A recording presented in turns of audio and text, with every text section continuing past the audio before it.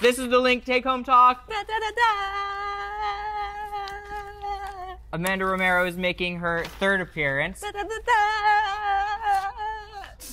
And then this is Christian Burrell. Christian Burrell, have you ever been in a link take home talk? No. Wow. It's my very first time. This is his very first time. Many of the Link students may not know who Christian is unless they go to the mix. Unfortunate. Um, but from Kids in the Son, you've seen him all the time, right, Yep. Christian? Yeah. All the time. All right. He's one of our favorites. Uh, he's great. He's a good man. Thank you. Charlie Brown. Thank you. Okay.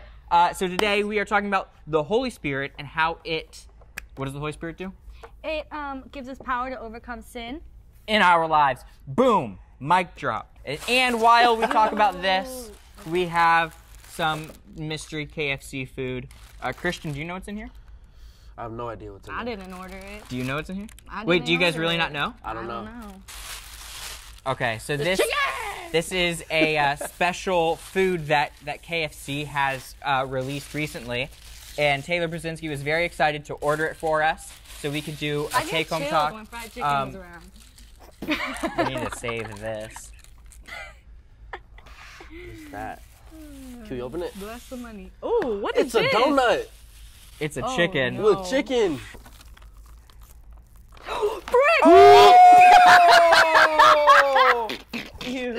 Oh my gosh. Chicken grease, chicken grease. That's disgusting. I just wanted to show them it. I wanted to show it to the Okay. camera. Here, In case you didn't see, here, this is I what it wanted looks like. to show it to the camera, and I showed it to my parents instead. I'm scared. Um. ah, ah, Savannah, Okay, the donut smells Was there no bone there? You just got all chicken? You didn't get any bone? That's almost. Sca- I'm. I'm scared that. Bro, the donut smells good though. Oh, it does. But I feel like it's like greasy. It smells weird Oh, because you can juicy. smell, like the sweet donut and the Chicken grease. and the chicken. Okay. Um. So the first thing is we were supposed to read Galatians 5:16. 5:16. Ooh, I love this one. So the question is, uh, what do you think it means to live by the Holy Spirit? What do you think it means to live by the Holy Spirit? So, so here's the verse on that question: you got it, Christian. Galatians five sixteen. Where is it?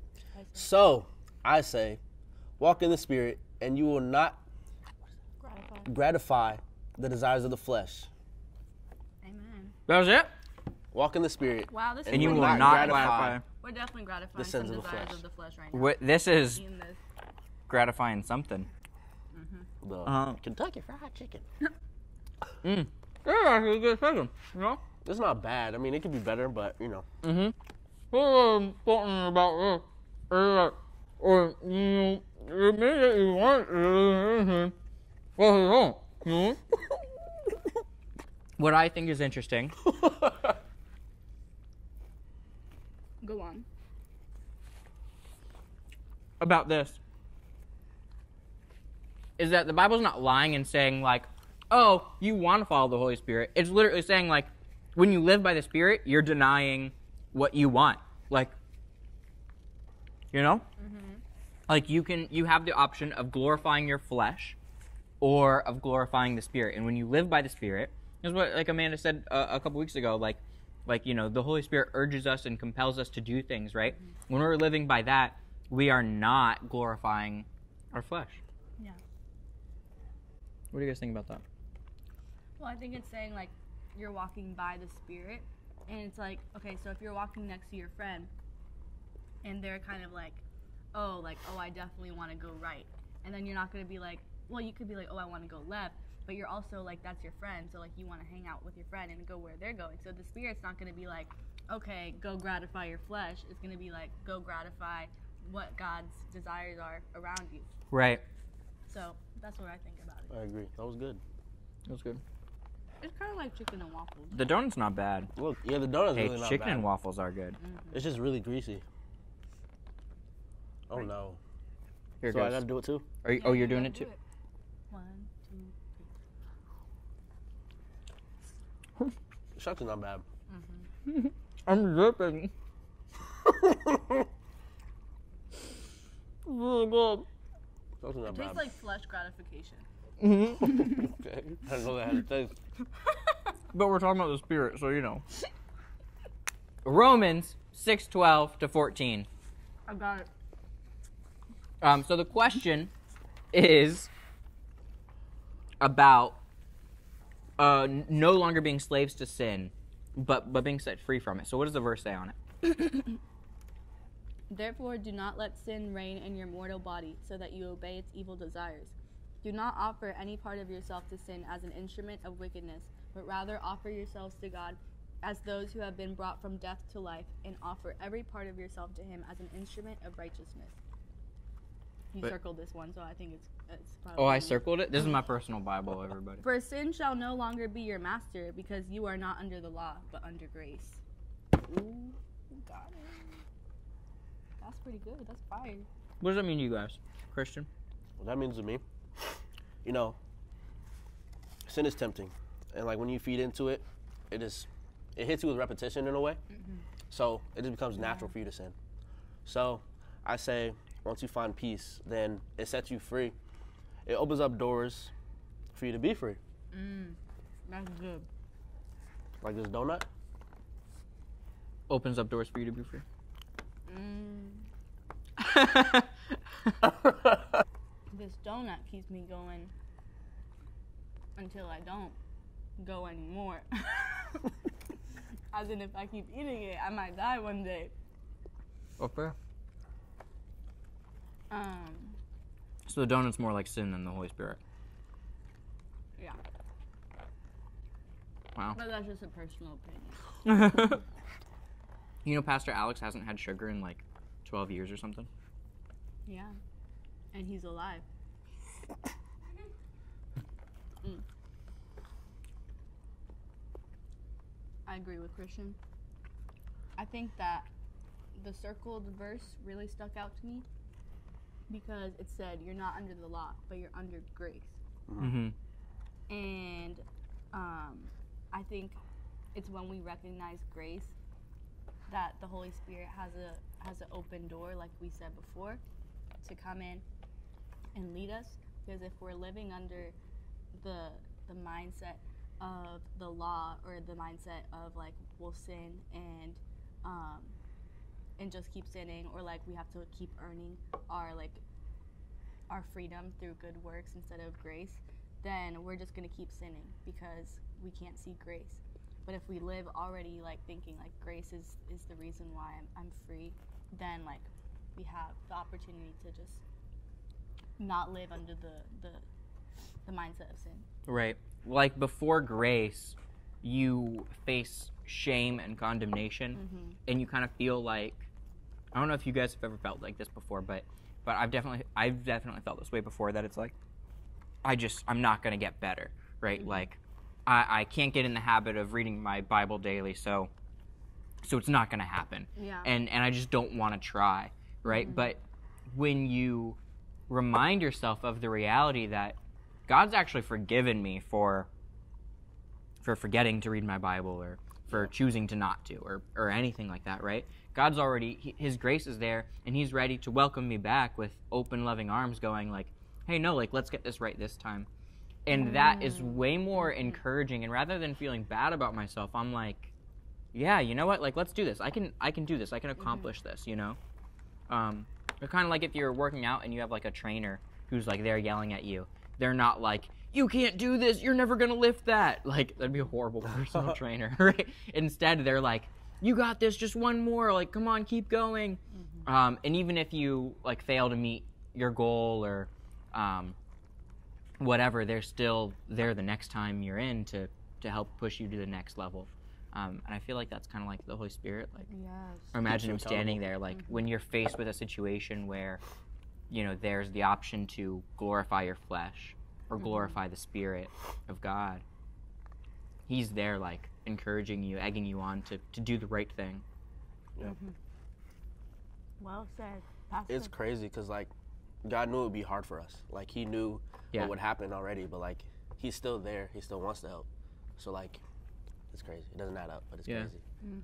Do you guys have a, an example or a story of a time that you feel like you're faced faced with uh, choosing between glorifying your flesh and glorifying the Spirit? Mm. Do I? She said it like she had Well, multiple. every day, every day, you're Yeah. faced with a choice. Yeah. Like For every sure. day I wake up and I can't guarantee that I'm gonna feel super like awesome or like excited to read my Bible every morning. Mm-hmm. Um, but it's a choice that I have to make, and then afterwards I'm like, wow, like that was a good choice because now I feel like spiritually ready to take on my day. So like every day, I think I'm faced with it. Every day, my someone Every day might I'm shuffling. Dun, dun, dun. Every day, someone might like.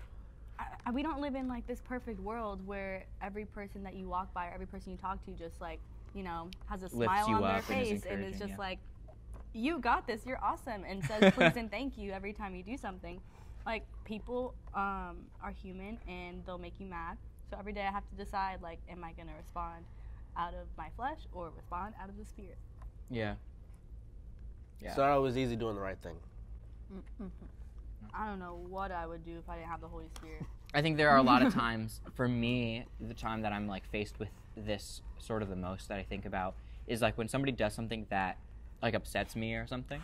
I I don't want to forgive them, right? Like I want to be mad or I want to explain why what you just did was wrong or why it hurt me, and um, maybe sometimes I should actually clearly communicate a little bit more that it upset me. But since I don't know how to do it lovingly, sometimes you know it's like choosing to follow the spirit is like you know what, like I'm I'm gonna I'm gonna decide to be forgiving and say it doesn't you know it doesn't matter or at the end of the day like this isn't gonna end the world and yeah I'm upset about it but we're we're still friends and this doesn't ruin anything you know Yeah. like that's I I feel like all the time I'm I'm I'm trying to like remind myself to not be hateful when I'm mad at somebody or when they let let me down or something, but to instead choose to be like, no, it's okay.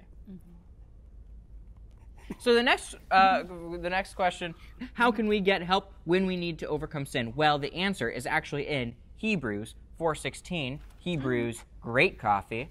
Let us then approach God's throne of grace with confidence so that we may receive mercy and find grace to help us in our time of need. Mm. I think that's actually exactly what we just talked about. Mm-hmm. You know, like that's how we need to overcome sin. Um, you know, how can we get help when we need to overcome sin? It's mm-hmm. according to this verse, it's approaching the throne of God by asking Him to help us. Yeah. And the Holy Spirit is our helper. Like Yeah. he's the one that's like leading us to the right place. And the reason why we can have that confidence is because God made it he cleared the the pathway of sin through Jesus and he's like, "Here, you got the Holy Spirit now. Come and whatever you need, I'm here." Yeah. So, And just like Javan was saying, you know, like no matter no matter whatever you've been through, you know, how much you've been through, he's always there. Just mm-hmm. you know, as long as, as hard as you try, you know, just go out for him. Mm-hmm. Yeah. Yeah, I, I think sometimes turn, choosing to turn to God is like the hardest part. Yeah. Because once we give it to Him, you know, He takes control and there's not like much more we need to do. It's so much easier once it's like in His hands. But it's that initial thought of like, Going for it. God, help me overcome Yeah. this. Yeah. Yeah. also like the holy spirit like a lot of times like he speaks to you um as like how to act and so like in in this case how how can we get help when we need to overcome sin um, sometimes the holy spirit will tell you to talk to someone at church or talk to someone yeah. one of your leaders and and um, be honest with them and be like hey i've been having these bad habits and i need help Mhm. and that's a lot of times that's the holy spirit telling us to be um, open and be real with um, the people that are older with the, than us our parents or our Yeah. leaders at church to help us to overcome things that we're struggling with That's, That's one of the hardest parts sometimes, you know, being vulnerable to Yeah. open up. But it helps a lot though. Well, that's a really good point because the Bible says, you know, like uh, we we can approach the throne of God when we need to when we need to overcome sin, uh, but it also says that we get healing from confessing our sins to a brother. Yeah. Um, so somebody that